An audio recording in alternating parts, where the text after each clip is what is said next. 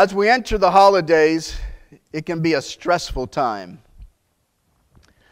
Relax. God is in control. You say, yeah, but the turkey's frozen and the stuffing needs made and the pie's got to be baked and got all this stuff, got company coming, the house is a mess, uh, and on and on and on the list goes. And there's my husband sitting in that chair watching that TV. Relax. God is in control. Bob, thank you for your testimony this morning. I got some words for you.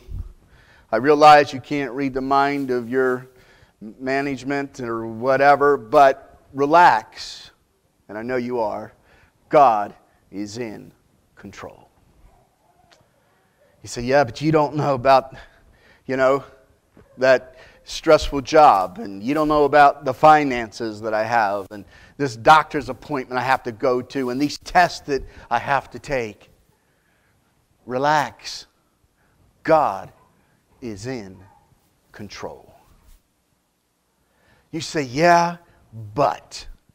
Don't you just love that little word, but? Sometimes I don't.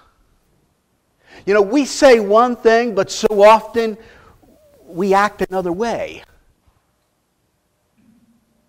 What I'm telling you to now, I see your heads going up and down. Say, yeah, that's right, preacher. Yeah. Relax. God's in control. But do we? We talk about faith and we say, Yeah, I have faith. You talk about trust and you say, Yeah, I have trust. But do we? You see, it's one thing to say it, it's another thing to, to really believe it and, and put it into practice. I want you to say something with me this morning. I want you to say, relax, God is in control. Now, I know that's a lot, but can you handle that? Are you awake? Okay, let's try it. Relax, God is in control. Now, some of you were with me on that, some of you weren't. So let's try it again, okay? One more time. Relax, God is in control. Do you really believe that? In the book of Proverbs, chapter 3, Verse 5, it says this Trust in the Lord with all your heart and lean not on your own understanding. To make it simple, relax. God is in control. He is in control. Verse 6 says, In all your ways acknowledge him, and he make your paths straight. Do not be wise in your own eyes. Fear the Lord, shun evil. This will bring health to your body and nourishment to your bones.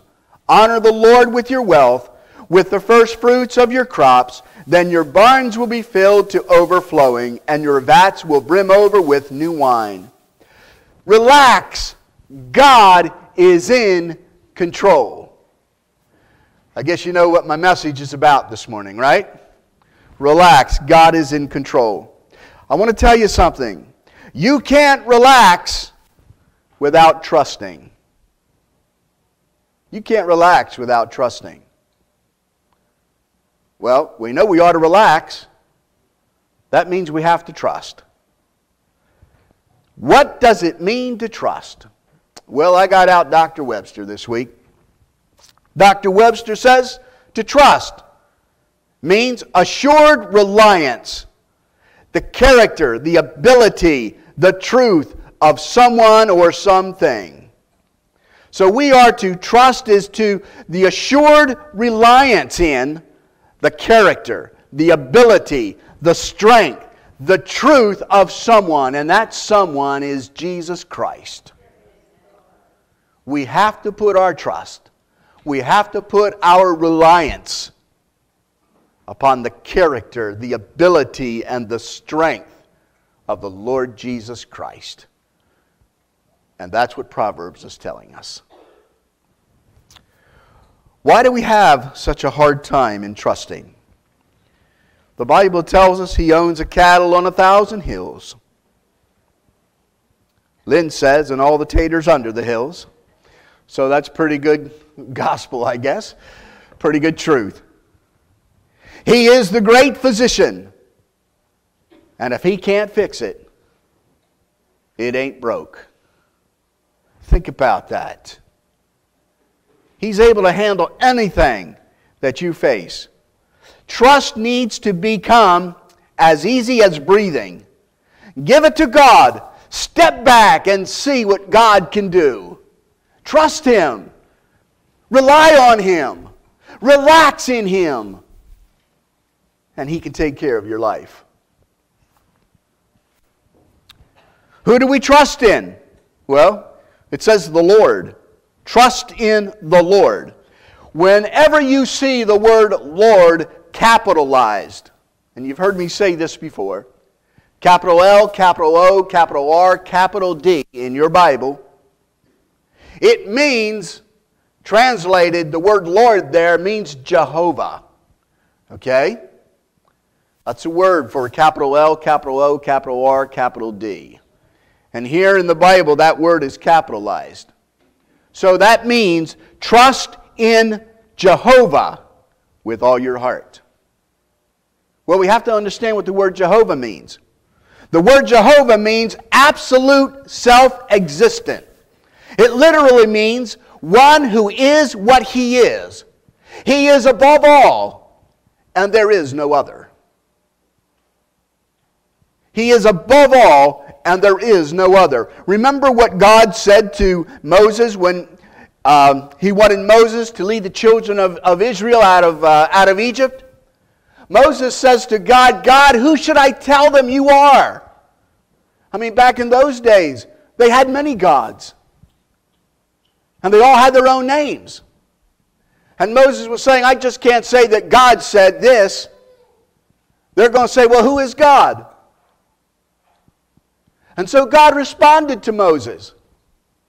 And what God said to Moses was, You tell them that I am that I am. Now we read that and we think, Man, what does that mean? But what God was telling Moses was, You tell them it's Jehovah. And Jehovah means I am that I am. There is no other. He is above all gods. And there is no other. Who are we supposed to trust? We are to, supposed to trust in Jehovah, the God above all gods. And there is no one greater. There is no one that can do more miracles. There is no one more powerful. There is no one more that has more strength than Jehovah. He is that He is, and there is no other. God is amazing. Somebody sent me this email the other day about the Creator. And it, it kind of fit here, talking about, about God and Jehovah and the one who, who did it all and is above all. You know, God is concerned about the little, sometimes insignificant things, isn't He? I, I thought this was interesting. Let me share it with you. Did you ever think about eggs? I can't say I have. Uh, but let me give you an example. The eggs of a potato bug, like we're really concerned about that, but anyhow, uh, the eggs of a potato bug hatch in seven days. Those of a can- cannery in 14 days. Eggs of a barnyard hen in 21 days. The eggs of ducks and geese hatch in 28 days those of a mallard in 35 days, the eggs, the eggs of a parrot and the ostrich hatch in 42 days.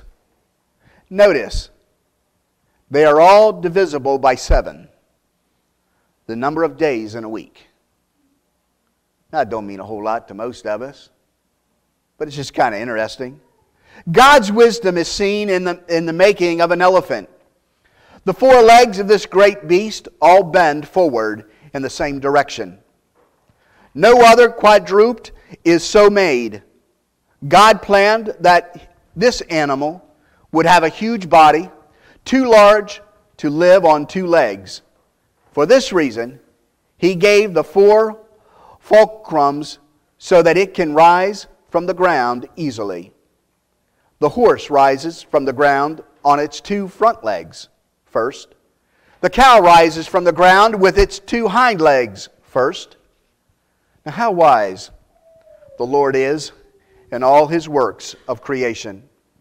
God's wisdom is revealed in his arrangement of sections and segments, as well as in the number of grains. Each watermelon, for example, has even numbers of stripes on the rind. Each orange has an even number of segments. Each ear of corn has an even number of rows. Each stalk of wheat has an even number of grains. Every bunch of bananas has on its lowest row an even number of bananas, and each row decreases by one, so that one row has an even number and the next row has an odd number. Who would have thought? But God did. All grains are found in even numbers on the stalks. Now the Lord specified thirtyfold, sixtyfold, and a hundredfold, all even numbers. It is said that God caused the flowers to bloom at certain specified times during the day. Linnaeus, the great botanist, once said that if he had a conservatory containing the right kinds of soil, moisture, and temperature, he could tell the time of day or night by the flowers that were open and those that were closed. How about that? The lives of each of us are ordered by the Lord in a beautiful way. He created these minds he created these hearts, He created these lives, and He has a purpose for each and every one of us. We certainly need to find out what that purpose is. He is Jehovah, and there is no other. How much, how much do we trust? We must trust beyond our own understanding. Now, that's kind of hard for most of us. How come we struggle so much to be obedient to the Word of God?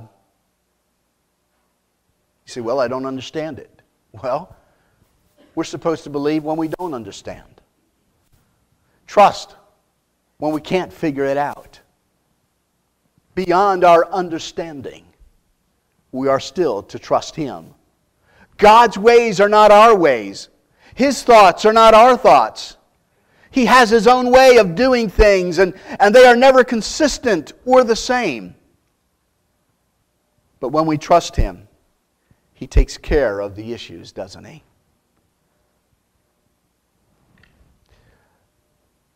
Trust him when you don't understand him.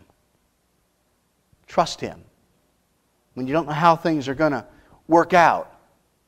Believe in him have faith in Him, and He can work it out. You know, we, we like to sit down and we like to figure everything out. It, it, it, it always puzzles me that, that we say we have faith, but when it comes right down to it, we always like to look at our bank accounts. Is that faith? Is that trusting God? Is that believing in Him? Faith. Now, I realize there's, there's a difference between faith and presumption. Okay? I don't want anybody going out of here and going buying a new car tomorrow morning, okay, and say, I've got the faith to do it. You don't do that. That's presumption. You take that money you were going to spend on that new car and you put it in here for a youth pastor. Can you understand what I'm saying?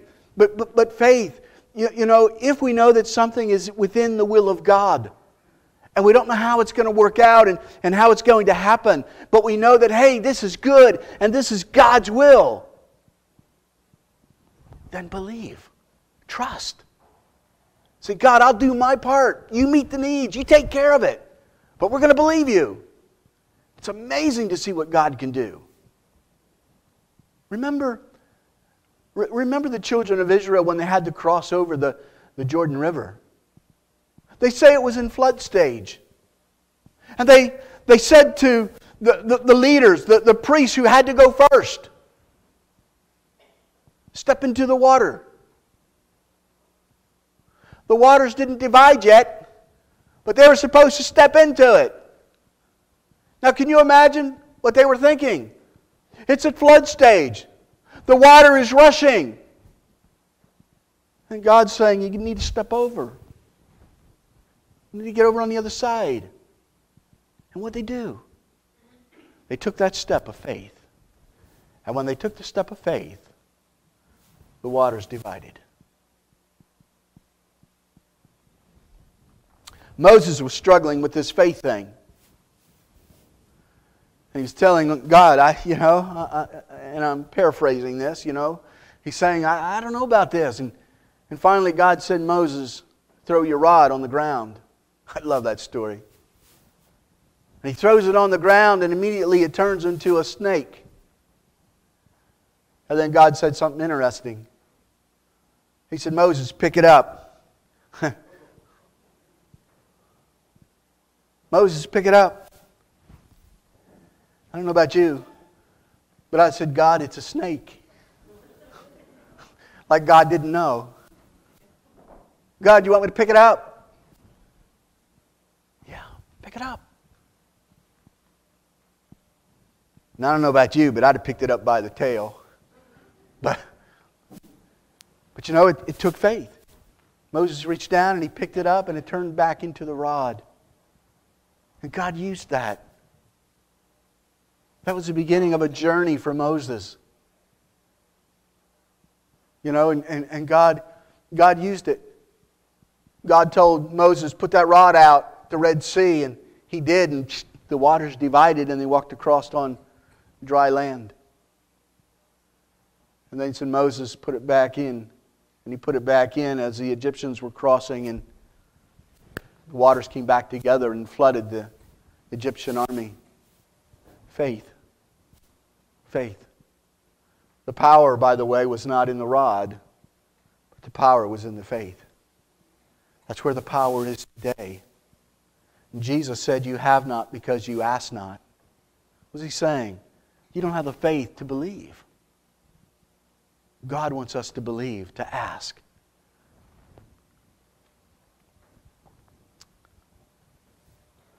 How much do we trust Him?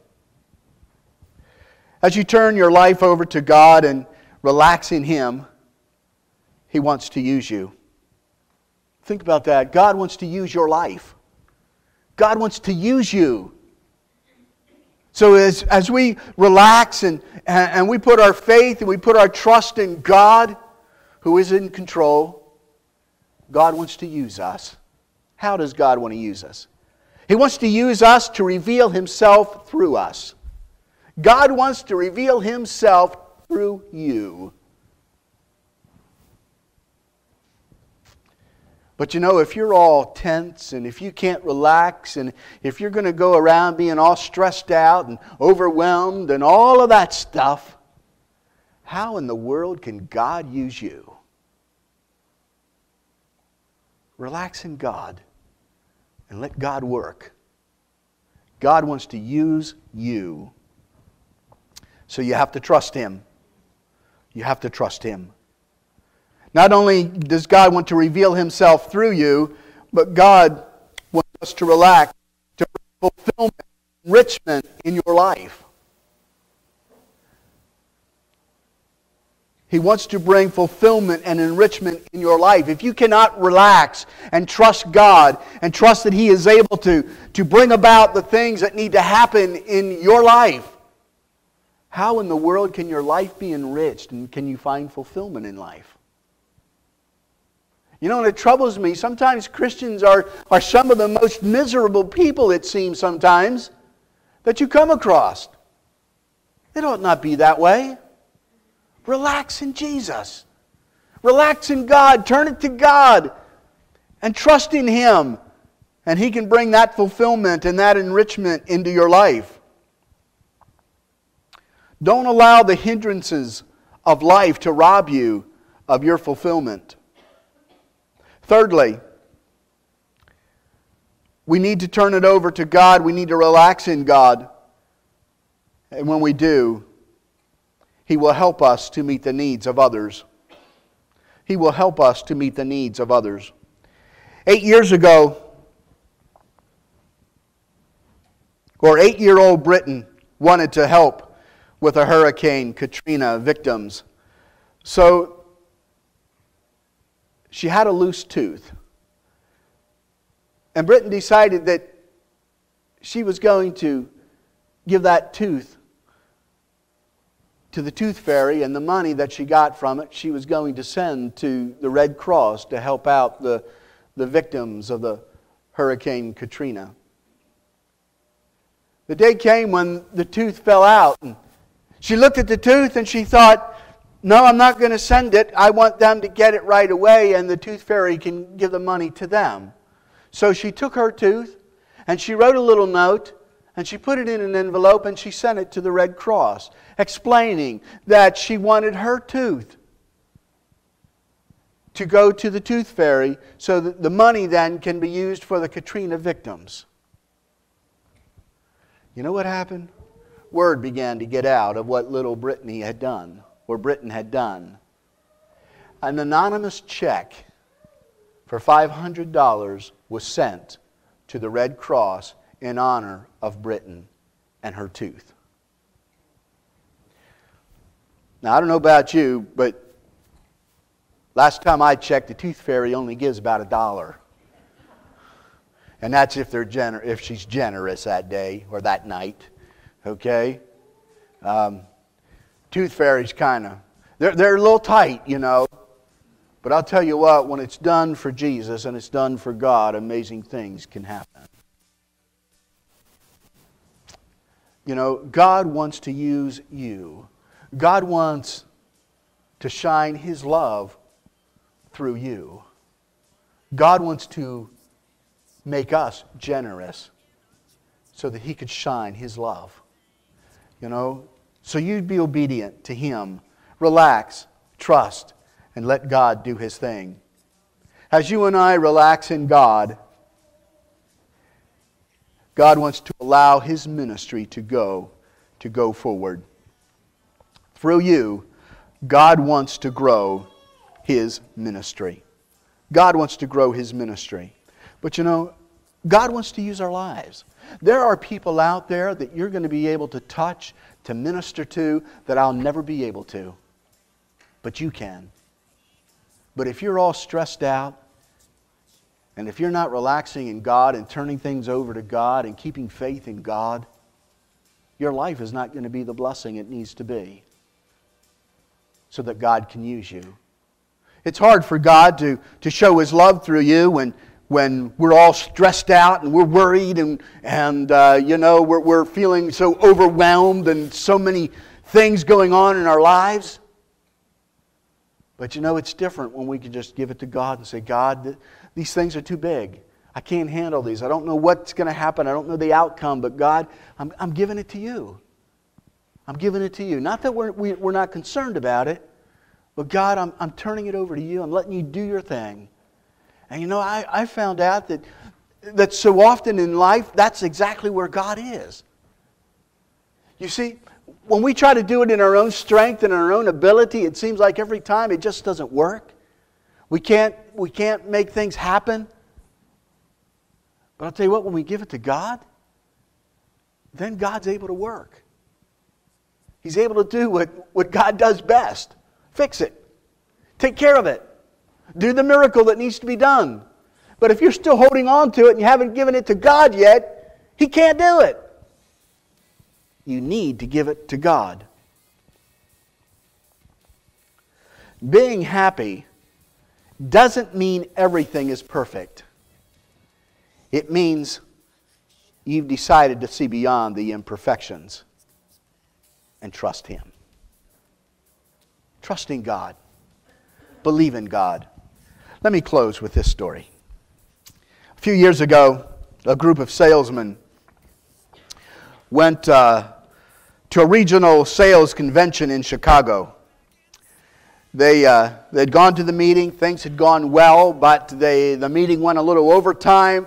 They were running a little late, and they had to get to the airport, and they, they had to catch this flight. In the hurry and the bustle of trying to go through the airport and trying to reach that flight and all of that, with all of their luggages and their suitcases and their briefcases, someone bumped into a table, kicked a leg out, and a girl had apples on the table that she was trying to peddle. And the apples fell off the table and they began to roll down the aisle or down the, the hallway there. And the salesman kept going. Didn't say sorry, didn't stop to help the girl. They just kept going. And all of a sudden, one of the salesmen stopped and said, Look, guys, you go ahead. And he said, I'll, I'll catch the next flight out. But he said, I'm going to go back and I'm going to talk to that girl. I'm going to help her. He said, When you get back home, he said, Call my wife, tell her I, have took the next flight and I'll, I'll be home later on. They quickly went. He went back to the girl's stand. And he saw that the girl was all choked up and tears were streaking down her cheeks. And he said to the young lady, he said, I'm sorry we did that. And he said, let me, let me help you. He straightened up her, her table, fixed the leg, and he began to, to pick the, the apples up. And he noticed that some of them had gotten bruised and some of them had gotten stepped on. And as he began to, to pick them up, he put the bruised ones in another basket, picked up the good ones and put them in another basket. He looked into the girl's eyes and he saw that the girl was blind. And it touched his heart. And he said, I'm really sorry. And he said, Let me pay for those apples. And he, he handed her uh, cash for $40. And he said, Would this, Will this take care of the, the apples? And she took the money and she thanked him. And as he began to leave, she called him back and she said, Mister, are you Jesus? And he paused for a moment. It kind of shocked him. And he said, No, I'm not Jesus. Why do you ask? And she said, Because when my table collapsed and I knew the apples were rolling, she said, I prayed and I asked Jesus to help me. And you came back. And I thought maybe you were Jesus. And then she said this If you're not Jesus, you must be his servant. You must be his servant. Listen to me, church. We should all be the servants of Jesus Christ. But if you can't relax and trust God, people aren't going to see Jesus in your life. Let's show people Jesus this Thanksgiving season. Let's be thankful. Let's relax because He is the God who is in control. Will you stand with me?